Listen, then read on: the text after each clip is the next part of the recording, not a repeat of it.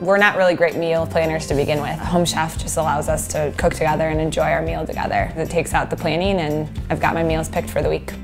One of our favorite things about Home Chef is the recipe cards. The steps are laid out very easily. It gives me a lot more confidence when I'm cooking.